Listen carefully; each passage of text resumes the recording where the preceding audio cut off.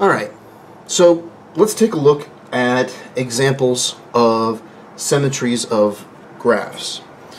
So we're in section 1.1 and I'm on page 63 of the textbook. We did 42 in the last video, so let's take a look at, there's 42 in the last video, so let's look at 44 we'd like to test the symmetry of this graph. So there's three types of symmetry we need to check for. We need to check for x-axis symmetry, y-axis symmetry, and origin symmetry. Starting with x-axis symmetry, to test for x-axis symmetry, all we do is we replace the other variable, y, with minus y. And see if we get the same thing back. So the only time y occurs is on the left-hand side. So rather than just y on the left, it's going to be minus y. Everything else will remain the same. So the question becomes, is this the same thing as the original equation? If so, we do have symmetry with respect to the x-axis. If it isn't the same equation, then we don't have symmetry. Well, this negative is enough to throw everything off. So this is not symmetric with respect to the x-axis.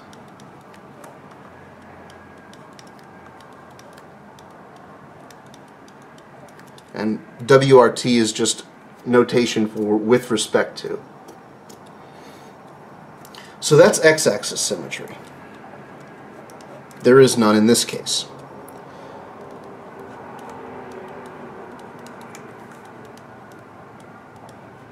For y-axis symmetry, we're going to replace x with minus x. So in the equation, x has only occurred on the right-hand side. On the left, we just had y.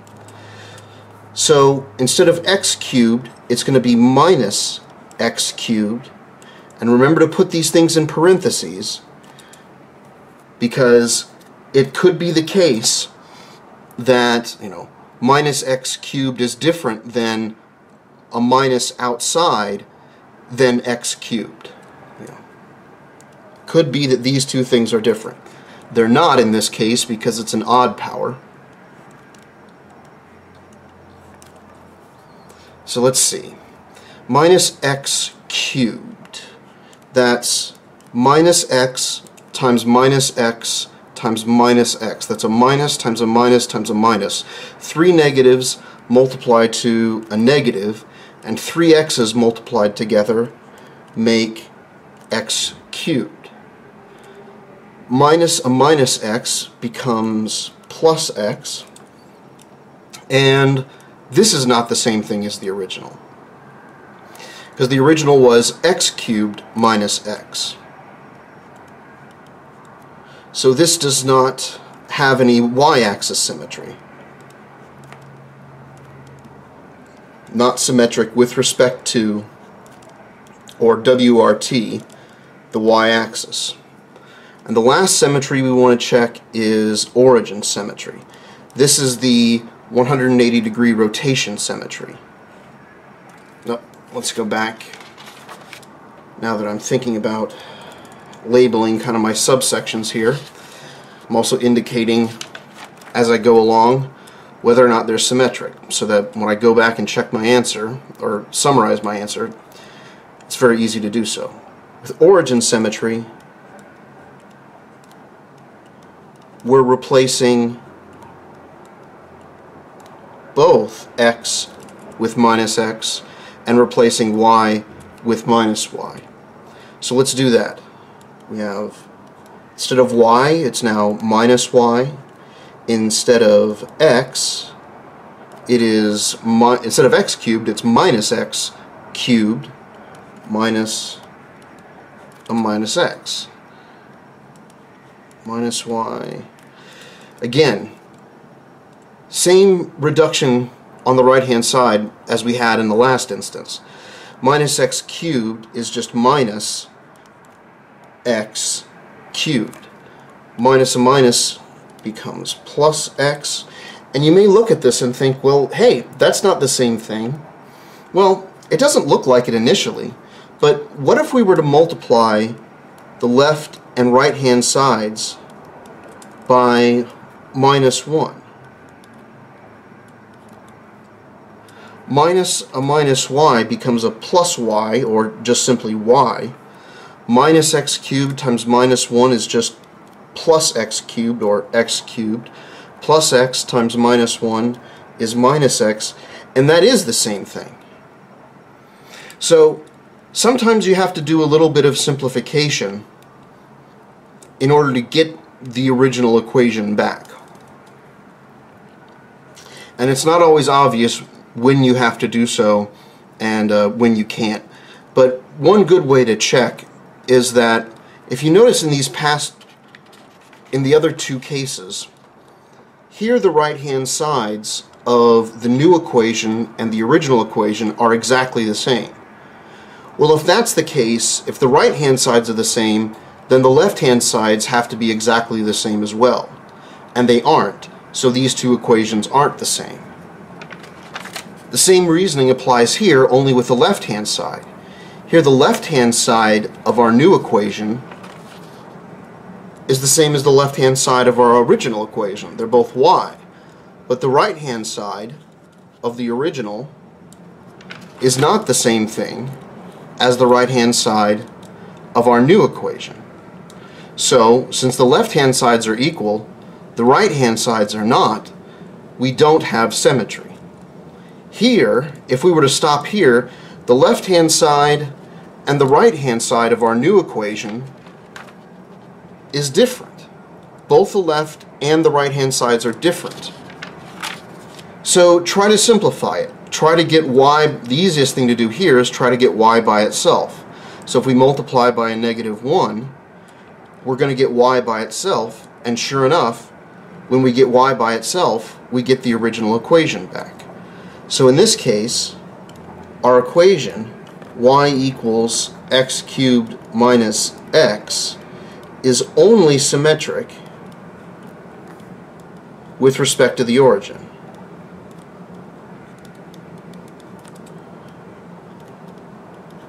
and again, with respect to is abbreviated as WRT.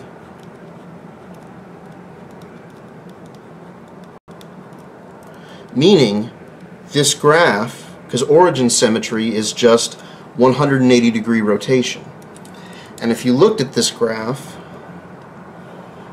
to give you kind of a rough sketch,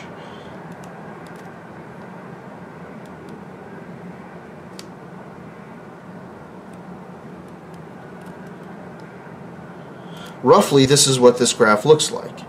And if you turn this upside down, you know, ignoring the crappy drawing, this should look basically, it should look exactly the same, but the crappy drawing, you have to use your imagination. But yeah, this does have a similar shape if we rotate the page 180 degrees. And that's what we call origin symmetry. All right. Let's do some more.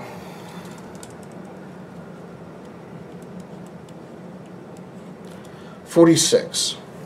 On forty-six, we're looking at y equals minus three x to the sixth plus two x to the fourth plus x squared. Now, we can really start off with any of these, x-axis, y-axis, or origin, but just to have a consistent pattern, I'll keep starting off with x-axis symmetry. So we're replacing y with minus y. And in this case, that's going to change the left-hand side, but it's not going to change the right-hand side of the equation. So the right-hand side of our new equation is the same as the right-hand side of our original, but the left-hand sides are different. So this is not symmetric with respect to the x-axis. If we try y-axis symmetry,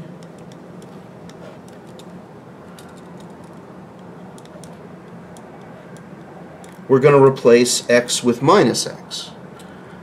So this is going to be the trickier one because you have to have use your parentheses here. Probably should have done that here as well. When I'm replacing y's, put parentheses around them, same thing as when you're replacing x's. Because then, you know, this is not going to be the same thing as a minus x to the sixth. Minus x, all of that raised to the sixth, is going to end up being just x to the sixth. It's an even power. So we're going to have an even number of negatives multiplied together, which ends up being a positive.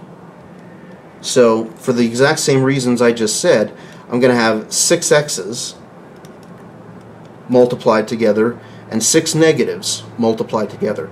Multiplying six negatives just leaves me with a positive x to the sixth. But instead of writing a plus here, we just write, you know, plus x to the sixth, it's just x to the sixth. Well, the same thing holds for these two. 2 x to the fourth, because multiplying out, there will be four negatives in this multiplication. Four negatives multiply to be a positive. I'll also have four x's multiplied together, which give me x to the fourth. And same thing here.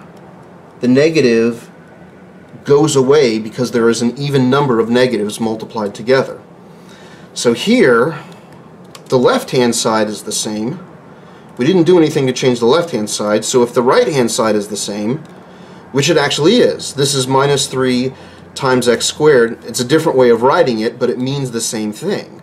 So the left is, is the same, the right is the same. This is symmetric with respect to the y-axis. And for origin symmetry,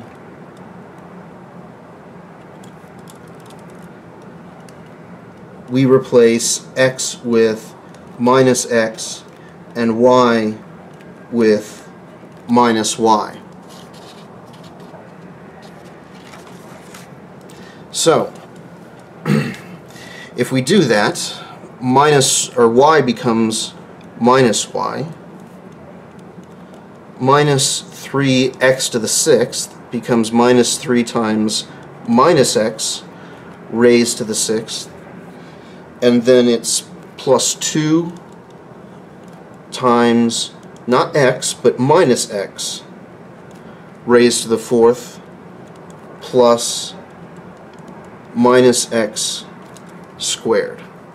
Well, for the exact same reason, you know, the right-hand side is the same as it was in the last case for y-axis symmetry. So it'll simplify in the exact same way. Which means the right-hand side turns out to be exactly the same as the original equation.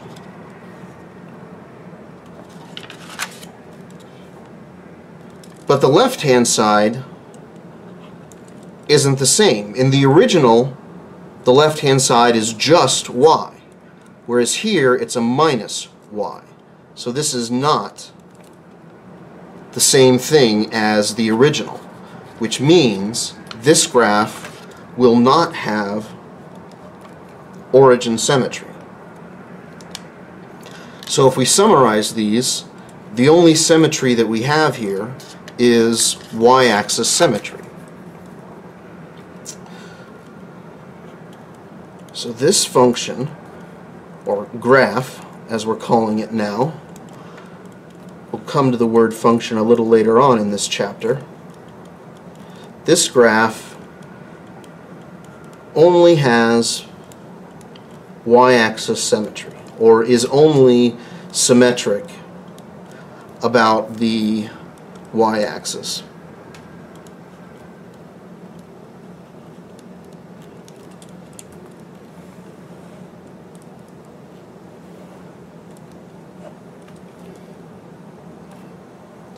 Now, let's see. Let's go ahead and do one more. I know this is running long.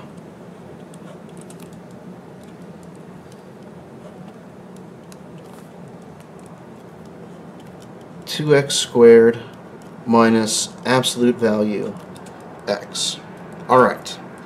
So for x-axis symmetry, we replace y with minus y. So that's going to be minus y is 2x squared minus absolute x. We didn't change the right hand side. The left hand side changed and it's not the same thing as the original. So there's no x-axis symmetry for this. For y-axis symmetry, we are supposed to replace x with minus x. And in doing so, we get y equals 2 times minus x squared minus the absolute value of minus x.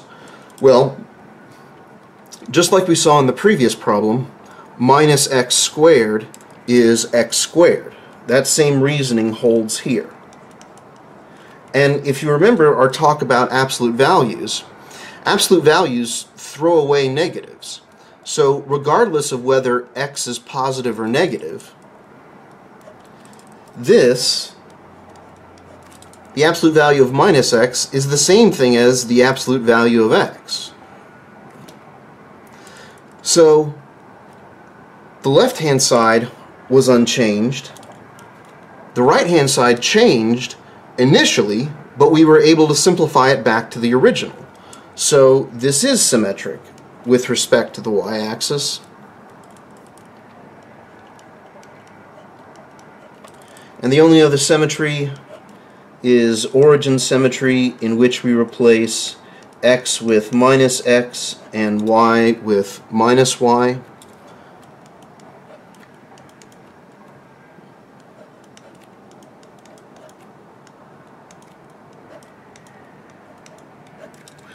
if you're clever, you'll realize that if a graph has any two of these symmetries, if there's a check by any two of these, then the third one has to be a check as well. Meaning, this can't have origin symmetry. So for the same reason, replacing x with minus x doesn't change the right hand side. But replacing y with minus y does change the left hand side. So since the left hand side changed and the right hand side didn't this is not the same thing as the original equation. And so that tells us this does not have origin symmetry or the 180 degree symmetry. This graph only has y-axis symmetry.